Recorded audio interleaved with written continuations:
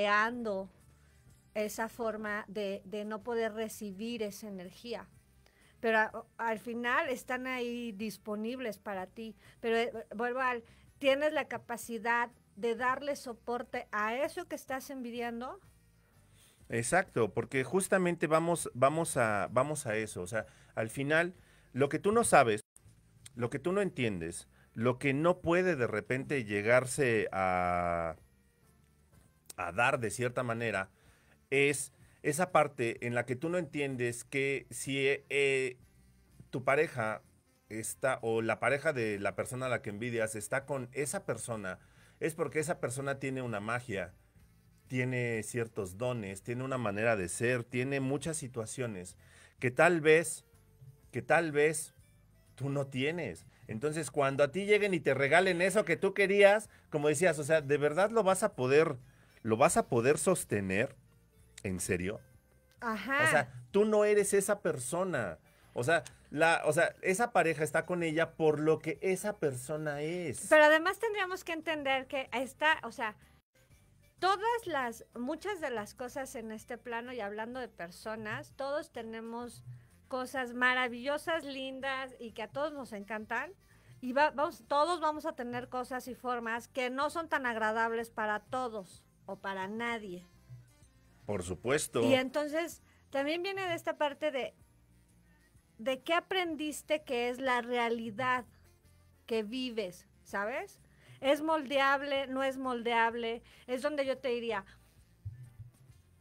ya te encasillaste en que eres pobre, en que eres jodido, en que no va a haber para ti, en que nada puede cambiar. Porque entonces de ahí ¿no? Si tú estás viviendo en situaciones o en circunstancias en donde todo el tiempo tú te ves y te permeas en espacios donde te llevan a esa circunstancia, a ese sentir, pues va a ser muy complicado, yo que te decía. Puede llegar alguien, tú puedes envidiar un coche,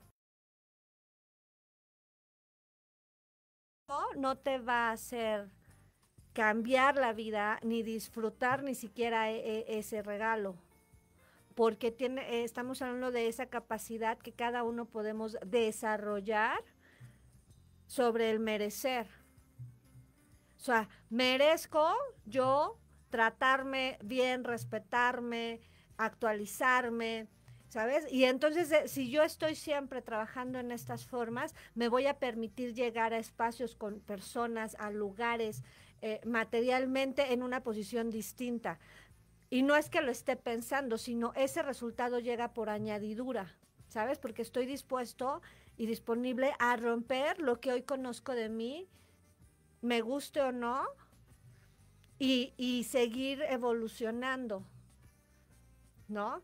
Y yo creo que también la envidia es una energía que a todos nos ha enseñado muchísimo, en padre y en no padre, pero también la envidia ha llegado a destruir a personas, las ha enfermado, y, ha, ha, destruido cuerpos emocionales muchísimos.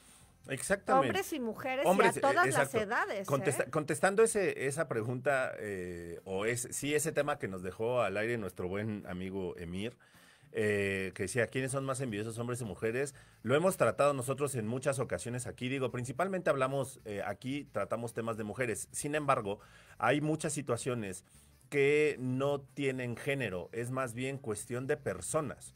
Eh, hablamos de personas, no de géneros. Entonces, este tema de la, de la envidia es muy complejo.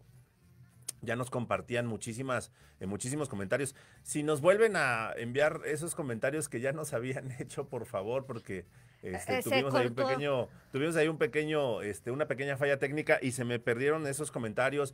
Pati Yanis Toledo nos había hecho algunos comentarios. Eh, Emir también ya nos había hecho comentarios. Había otras chicas que también habían estado comentando. Si nos regresan esos, esos comentarios, entonces este, nosotros con muchísimo gusto ahí los vamos a ir, eh, ahí, los vamos a ir poniendo todos completamente al aire. Síganle dando compartir, por favor porque, eh, digo, es bien importante este tema. O sea, tú has vivido, tú has vivido toda esa, toda esa parte de la envidia, porque digo, de los, de los comentarios que nos hacía Patti Yanis Leo decía que precisamente ella ha vivido mucho este tema de lo que es el... En el trabajo. En el trabajo, exactamente. ¿No? Y, y, y creo que yo no he escuchado a alguien no quejarse de cosas de envidia que pasan en el trabajo. A lo mejor no contigo directamente, pero todos hemos llegado a observar que estas formas o fórmulas sí suceden.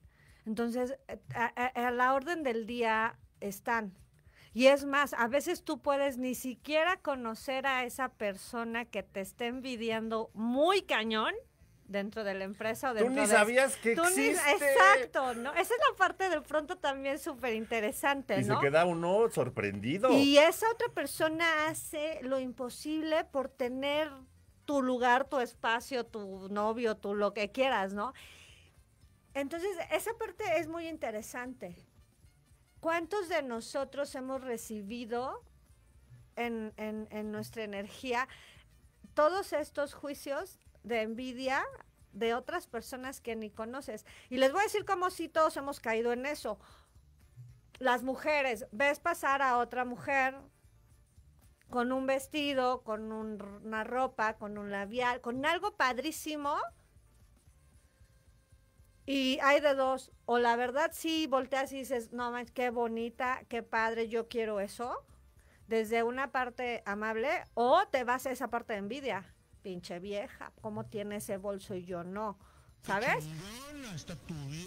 Exacto, también. Los hombres, los hombres en eso también hay, y, sí hay envidia, pero te, al final sería poder reconocer claramente en dónde se envidia, en dónde sí estamos jugando, porque también esa es otra, ya vemos gente que eh, nos divertimos y jugamos mucho eh, diciéndonos eh, cosas de admiración, a lo mejor aunque a veces no, se, no suene así o no se note así. ¿no? Pero, pero tendríamos que entender esa pequeña línea y poder tener muy claro esa vibración, ¿no? O esa secuencia de lo que es de lo que es esta energía de envidia. Entonces, pasa en todos los lugares, en todas las naciones, no tiene que ver porque seas rico, no sientes envidia o porque según tú eres muy pobre, no, o sea, vas a sentir envidia de, por ya de producción nos compartieron algunos de los mensajes que nos habían estado enviando. Dice, sí, eh, esto lo dice Jerry. Dice, sí, la envidia existe y es desgastante. La mejor receta para combatir la envidia es no enfocarse y gastar energía en que te están tirando malas vibras. Uno, mojarrita, enjabonada, y si mi brillo les molesta, que se pongan lentes, bien diría misada, jaja. Así que uno debe de seguir su, su camino, hacer lo que uno debe y no enfocarse en ese tipo de personas. Pati Yanis Toledo, aquí ya está el comentario de Pati Yanis Toledo que decía, buenos días, les mando un abrazo, ustedes siempre con super temas. Respondiendo a la pregunta, Leo, yo he visto envidia en ambos mujeres y hombres, está cañón, y es cuando empiezan a echar tierra y lo peor que ellos se ensucian las manos y ni se dan cuenta. A mí me pasa mucho en el trabajo. Arlet Baena Elías, nuestra querida psicóloga consentida, dice, existe una línea muy delgada entre envidiar y admirar. La envidia es una emoción tóxica. Tú decides al darte cuenta. Moni Mon dice, no existe lo que decías, este, Les, no existe envidia de la buena, pero sí lo, pero sí lo aprenden en casa, ¿no? Que era otra cosa que estábamos. Eh, eh, siempre hablamos de las aflicciones, la que sea, eh, dentro de las sociedades y las familias estamos muy acostumbrados a que sí existe, pero nadie habla de ella, o sí existe, pero no la reconocen, sí existe, pero, pero evado la responsabilidad de poder recibir esa energía y poder trabajarla y entonces se convierten en estos grandes venenos que de verdad, o sea, hacia adentro, hacia uno mismo, se convierten en enfermedades de verdad hasta mentales. ¿Me entiendes? Porque, porque sí llegan a esa, ni siquiera poder observar o sentir lo que verdaderamente sí tienes también en la vida. Exactamente, o sea, volvemos a, o sea, estás tan encasillado, eh, tan ensimismado, tan eh, absorto en lo que alguien más tiene, que no te das cuenta el potencial que tú posees, que no te das cuenta de esa magia, de ese brillo, y no estás haciendo cosas que podrías hacer si dejaras de estar pensando en lo que alguien más tiene. Fíjate, nos escuchan desde Naucalpan, Nezahualcóyotl, Querétaro y San Luis Potosí. Muchísimas gracias, abrazos a todas las personas que nos están escuchando en todos los confines de este bonito país y en todos los confines del bendito universo. Muchísimas, muchísimas gracias por estar aquí. Entonces también sería importante entender otra cosa. O sea, la energía de la envidia sí nos lleva a, a los seres humanos a decretar cosas nada padres a los demás. O sea, la gente, por eso yo siempre he hablado de, la gente a veces no tenemos consciente de nuestro poder de la palabra. Y entonces, eso, eso, esos juicios que tú haces hacia afuera son maldiciones que comienzas a crear. Y entonces, de, de, cierta manera, si la persona a la que tú la diriges no, no tiene la percepción de esto, sí le crea problemas dentro de su ámbito diario, cotidiano. Entonces, este rollo que todos también en México se nos da mucho de la pulserita roja para las envidias. Para el ojo. El, el, el ojito de venado para el mal de ojo, tal. Pues a mí me dirán, Misa, pero yo sí he percibido esa energía y también he podido observar cómo estos amuletos que sí tienen una fuerza y un poder energético, sí funcionan. Y habla, y digo, y ahorita que hay, hay canciones que hablan incluso de eso, ¿no? O sea, yo me acuerdo de los caifanes que hablan de la, bueno, que tienen una canción, la, de Perdí mi ojo de, venado, ¿no? Entonces está, dice, nadie me va a proteger, entonces está cañón. Ese no es que le demos tampoco todo el valor y toda la verdad a estos amuletos, pero sí tienen onda y sí cambian. ¿Por qué? Porque sí los colores, o sea, sí los colores tienen cierta vibración que mueven cierto tipo de, energías y espacios. Sí, las o sea, sí los símbolos y los signos también los podemos utilizar en para bien, para cuidar y proteger, pero también a veces esos mismos símbolos, fíjate, o sea, yo sí te puedo decir que yo sí conozco gente y, y conocimos estas ondas de en los cristales, en lo esotérico, por ejemplo, en los cristales, así como este mismo este mismo cristal lo puedes programar para algo padre, también lo puedes programar para algo no padre. Ah, y esa es información que cura. Justamente. Entonces, tienen que tenemos que estar como atentos en ese cuidado a nosotros mismos de las energías que recibimos y nosotros creo que también podemos tomar responsabilidad que no nos cuesta nada como de una vez al mes a lo mejor hacerte un bañito, ¿sabes? Con un jaboncito de coco, pedirle al agua cuando te estás bañando. Y si te bañas una vez al mes, pues entonces bañate con un jaboncito de coco y todas estas cosas que nos estás diciéndole, ¿no? Este, hay muchas cosas, hay cosas que, por vibración son muy fáciles de obtener y son muy fáciles de hacer para que toda esta energía que de pensamiento, fíjate, aunque ni siquiera te manden a hacer ningún trabajo energético ni nada, pod y poc, eh, estos pensamientos sí crean esa energía pesada, sí le llega a esa otra persona y entonces tú puedes eh, empezar a hacer rituales, en esto nosotros lo llamamos rituales, en donde puedes elegir diferentes objetos o diferentes cosas a través de los cuales puedes ir limpiando esta energía de tu espacio energético. Es correcto, pero fíjate, o sea, e, es, cuestión también. Eh, yo lo que, lo que sí te puedo decir es que, o sea, al final del día, y te lo he dicho muchísimas veces, tú eres hermosa, tú eres encantadora, tú eres bella. El hecho, o sea, el hecho de que tú de repente digas, híjole, es que en el trabajo eh, estas personas son así, así, así, así. Entonces, la verdad es que todas esas personas, efectivamente, uno, están enfocadas en lo que tú eres, porque primero tú eres magia, tú eres luz, tú eres esa bonita energía, tú eres esa buena vibra, tú eres todo eso que mucha gente quisiera, pero que no sabe cómo obtener. Entonces tampoco permitas tú que esas personas entren y roben tanta energía, porque primero eso es lo que buscan, ¿no? Desestabilizarte a ti de todo lo que tú eres, de todo lo que tú generas, para no verte allá arriba, como decía Franco Escamilla, este, acá en la cima del éxito, ¿no? Entonces, sí, la verdad es que es cierto. Es cierto, esa, esa parte en la que de verdad, o sea, la gente te envidia solo por lo que tú eres. O sea, porque eres magia, porque eres inteligente, porque eres trabajadora, porque eres chingona. Porque, brillas, porque haces magia, porque creas, porque sabes crear. Y además tú innovas y además tú buscas y además. Y entonces hay gente que se le hace mucho más sencillo estar de este lado en el que te critico, en el que te tiro mala vibra, en el que digo, no, pues es que esta pinche vieja, no, los y es haters, que, ¿cómo? ¿no? Que están tan de moda. Exactamente. En todas las formas y en todos los lugares y en todos los sentidos, no solamente en, los re- en, las, redes sociales, en las redes sociales, ¿no? Y eh, eh, esta, es, es- este es un ejemplo también de este tipo de gente que está trabajando sobre esa energía. Al final no es bueno ni malo, que el que el cómo tú decides recibir esa energía, transformarla, cancelarla, ¿sabes? Moverla de, de- de tu espacio, eso es una elección que puedes Y realizar. tampoco, y tampoco te sientas mal por el hecho de que, pues es que yo no les hice nada, es que yo no me meto con ellos, es que no, efectivamente, hermosa, tú no les hiciste nada, tú no te metiste con ellos, tú no hablas mal de ellos, pero lo que sí les pica es tu bonita y bendita luz. Tenemos que ir a nuestro siguiente corte, así que por favor no le cambien, estamos en Hablando de ti con Leo, porque si no hablas de ti, ¿Quién? regresamos.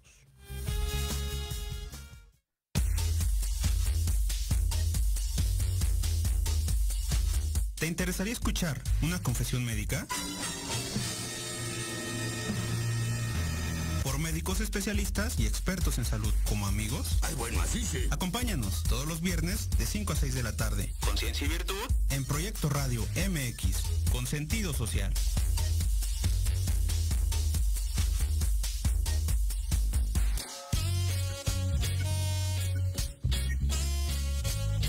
Soy el Dr. Halgan Eshananda a escucharme todos los martes a las 16 horas en Conciencia Espiritual. Un programa divertido para compartir el mundo de la espiritualidad y la salud integral sin tabúes y sin fantasías. Por supuesto, aquí en Proyecto Radio MX y todas nuestras plataformas digitales.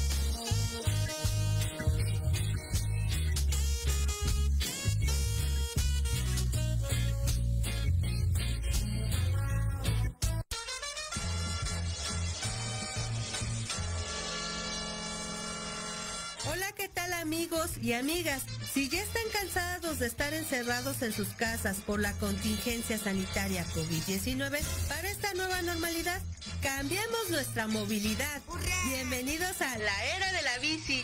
Yo soy Vanessa Cruz o Vane Arándano, como gusten llamarme. Los espero todos los miércoles a la una de la tarde aquí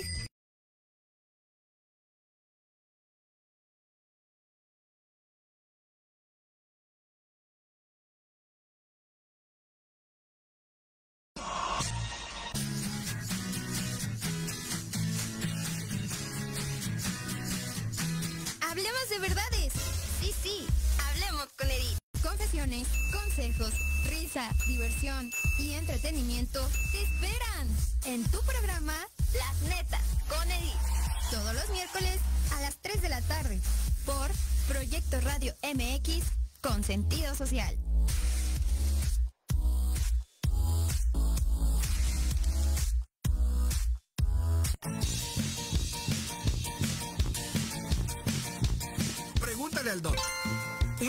De profesionales de la salud a su servicio, con temas interesantes. Conducido por su anfitrión y amigo Octavio Martínez. Es un papucho. El doc. Tenemos una cita todos los miércoles de 5 a 6 pm en Proyecto Radio MX, con sentido social.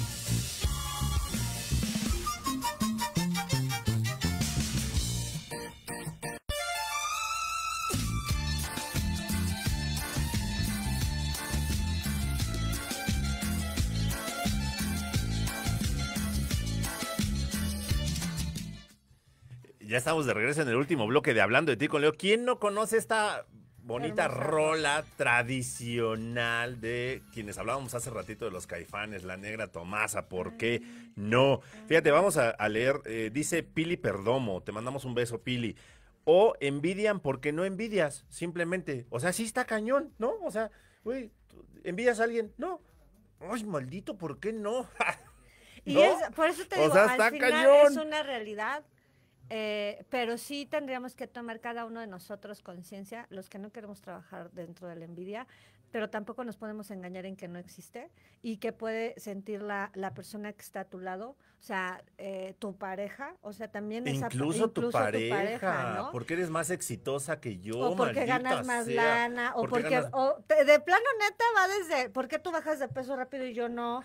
¿Por qué tú, sabes? O sea, ¿por, ¿Por qué, no tú eres por qué un- tienes más amigos? ¿Por qué puedes, eh, por, por qué tú puedes ir a andar en bicicleta y no te cansas y es súper deportista y yo no? O sea, de verdad, ni siquiera a veces podríamos creer que, o sea, nosotros, para algunos de nosotros sería así, güey, eso es una tontería, pero para otros es una forma de vida. También tendríamos que entender que hay gente que hoy en día es una forma de vida trabajar a través de energías como la envidia, ¿no? Y llegan a crear problemas completamente muy severos dentro de las familias Que o no las está chido, relaciones, que no, no, está chido. pero sí sucede. Y entonces, efectivamente, tú te das cuenta, ahí viene la situación en la que, la que comentaba justamente ahorita Les, eh, el hecho de que tú no la sientas no significa que no existe.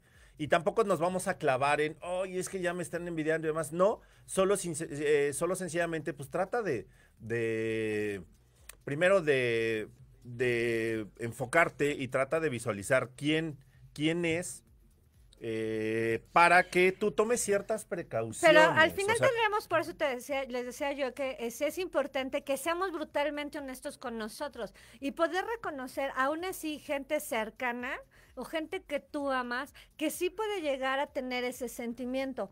No se trata de, ay, bueno, entonces ya por envidioso vaya la fregada. No, No, pero no, sí no, es una cuestión en donde tú estés consciente de eso y que a lo mejor pudiera haber acciones o formas de esa persona hacia ti o hacia tu entorno, hacia tu Es círculo, correcto. en donde de pronto a lo mejor puede ser que te sientas atacada y entonces no te lo tomes personal. Y no entres en ese juego y no entres en esa guerra, porque al final tal cual hay personas que neta viven y aman esa energía. Está cañón. Fíjate, vamos a saludar a, otras personas que también se están conectando. Perdón, dice Luis Triana. Saludos, chicos. Luis Triana, lo escuchan los jueves a la una de la tarde. Este, cabina. Excelente. Ahora sí ya me lo aprendí, amigo. Este, todos los jueves a la una de la tarde. Eh, Victoria González Ruiz dice: Buenos días, tarde, pero sin sueño. Sí, por fin me lo aprendí, amigo. Discúlpame. Fíjate, dice Arlet Baena Elías: Dejar de compararnos y saber que somos únicos y cada quien tiene sus cositas. ¿Qué tengo? ¿Qué hago con lo que tengo? En lugar de poner toda mi atención en comparaciones en lo que no tengo, en lo que me falta y dejo surgir esa envidia tan dañina. Al final es un golpe al amor propio. Sí, por supuesto. Dice, mira, Almada, ¿por qué a Leo le sale barba de candado y a mí no? La verdad es un sticker, amigo. Exactamente, la verdad es que todas las mañanas me la, me la pinto para que, para que parezca como completa. Dice Arlet Baena Elías, ¿por qué te duermes y descansas mejor que yo? Maldigo, Cris Holguín Páez, parece que no debes nada. Ya ves, Cris, ¿qué onda contigo? ¿Por qué parece que no debes nada? Demonios. Y entonces, por eso, por eso te digo, o sea, sí, retomando esta parte que nos, es- eh, eh, nos dice Arlet, sí tiene que ver eh, con un amor propio, tiene que ver con un respeto propio y tiene que ver con esa capacidad realmente de poder elegir todos los días, creer y crear cosas dif- diferentes y distintas para ti, ni siquiera para alguien más. Yo creo que si empezamos a tener esta conciencia de eh, empezar a elegir cosas que a mí me hagan feliz, que a mí me eh, trabajar para poder recibir eso que tanto quiero, se llámese un coche, un cuerpazo, una ropa, una bolsa, lo que sea que en algún punto, en algún momento envidiaste. Cuerpazo y cuerpazo pelazo. y pelazo y todo. No importa, yo también puedo decir, no importa el medio, porque, o sea, al final yo les digo, a ver, puedes envidiar el cuerpo de otra persona, pues tú tienes el dinero, te es una hermosa cirugía. Y, y puedes lograr eso, es perfecto. O sea, ni siquiera es de a fuerzas tienes que hacerlo de esta manera, ¿me Nada entiendes? más ten cuidado, porque Claro. el hecho de una cirugía estética está cosas. chingón, pero también, o sea, hay que mantenerlo. Digo, ¿cuántas, cuántas personas no se han hecho cirugías estéticas? Y no se- digo, o sea, está bien, por ejemplo, hablemos de las personas que no están eh, conformes con su peso. Te haces una lipo y lo que tú quieras, pero al mes ya estás otra vez ahí padeciendo esa situación. Güey, no se trata solo que te hagas la lipo, o sea, que, también tienes que es de cuidar lo que hablamos. comes, O sea, no se trata de tener ese objeto, ese lugar, ese horario, ese. No, se trata de tienes la capacidad de sostener eso o no. Exacto, Punto. exactamente. ¿Cómo lo hagas? Ese es otro, es otro asunto y es otra película, ¿no? Pero es entender eso.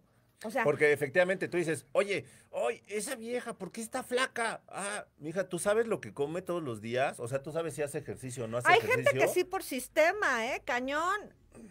Pero poca. Muy poca, Muy claro. poquita. Hay gente que así se mantiene, coma lo que coma. Pero hay otras personas que se mantienen porque cuidan lo que comen, porque hacen ejercicio, porque descansan bien. Incluso lo vimos con Viri en programas anteriores. O sea, el hecho del tema del peso también tiene que ver con Tu eh, cuidado en tu cuidado en varios sentidos. Entonces, más bien, procura no, procura no envidiar.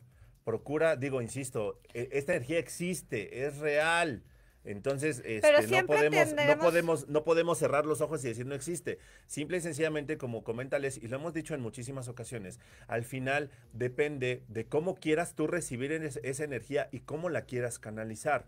Dicen por ahí que, eh, eh, bueno, eh, vi una publicación en Facebook que decía, o sea, la, precisamente el tema de la envidia o los insultos son como un regalo. Yo llego, te lo ofrezco, pero está en ti si lo recibes o no. Si tú no lo recibes, entonces el regalo ya no es tuyo. El regalo sigue siendo mío porque yo soy el que te lo trae. Claro. Entonces sucede lo mismo con este tema de la envidia, que no es sencillo, ¿eh? tampoco estamos diciendo, volvemos a lo de siempre, o sea, tampoco estamos diciendo que ya con el que digas, no, está bien, yo no lo recibo, ya no pasa absolutamente nada, no, también llega a ser complicado porque si es una energía que de repente se va como que permeando en el ambiente, En todo. y si te llega a desgastar, eso es, eso es un hecho, ¿no? Pero también trata de darle la vuelta, trata de buscarle el lado en el que no te, en el que no te sientas tan absorto, que no te sientas tan ahogado con esa energía de envidia que otras personas te tienen. Las personas te van a seguir envidiando, insisto, porque tú eres magia, porque tú eres luz, porque tú brillas. Y que ahí viene la parte padre. O sea, y, y les digo como si de pronto la vida, las circunstancias te van mostrando tu capacidad de transformación y de poder recibir hasta esas energías. Es como si yo les dijera, claro que puede esta energía destruir vidas, sí. Pero si tú estás en un proceso en el que tú estás creando desde otras circunstancias y desde otras formas, pues vas a estar bien, no importa lo que te avienten. O sea, ahí están ejemplos, yo les puedo decir, todos los futbolistas famosísimos, todas las actrices, todos los cantantes, todos, que tienen siempre, va a haber una parte de gente que los va a apoyar, que los va a recibir y tal, y va a haber otra parte que diga, a mí no me gusta y les aviente de lo que pueda energéticamente. Entonces, es entender eso. O sea, el que tú en este momento a lo mejor no tengas eso que envidias no significa que no lo puedas tener desde un trabajo personal y desde algo padre y sutil. diferente. Y diferente Fíjate, donde sí lo vas a disfrutar. Vámonos rapidísimo con los últimos comentarios porque ya solo nos quedan dos minutos. Dice Lucio Berlop, nace en un complejo por tener y no tener. En los pueblos la conveniencia comunitaria, muy solidario, sin envidia y es bíblica. Caín y Abel, ahí se vio y hoy por el capitalismo. Ok, dice Pili Perdomo. Y al final, lo, lo de la envidia, es energía. Pinche, Pinche, pero energía.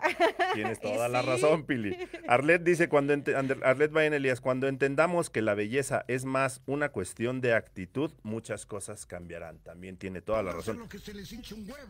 Exacto. Y dice Marianita Reina, Marianita, besos, gracias por estar presente. La envidia es como la ley del espejo. Lo que me molesta del otro es lo que me molesta en mí. Y siempre he pensado que eso es el poco amor que uno se tiene.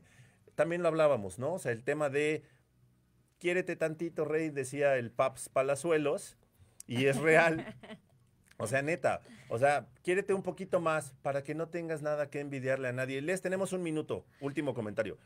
Eh, obsérvate en donde eh, no, todavía no tienes la capacidad de percibirte en esa energía, está bien, no te juzgues y cuando llegues a ella, salte de ahí. O sea, es una elección. Al final todo es una elección. Así es que no necesitas envidiar a nadie, ocupas simplemente poner foco en lo que puedes hacer en ti y de- con las herramientas y con los dones y virtudes que tienes. A lo mejor crees que no existen en ti, pero créeme que sí es así. Es correcto. Yo nada más lo único que te quiero decir, si tú eres esa de, eh, una de esas personas que reciben envidia, sigue recordando que tú eres hermosa, que tú eres maravillosa, que eres luz, que eres magia, que eres chingona, que eres una mujer chingona, que eres una mujer que inspira y sigue con tu camino, lo estás haciendo bien. Esto fue hablando de ti con Leo, porque si no hablas de ti, ¿Quién? vámonos.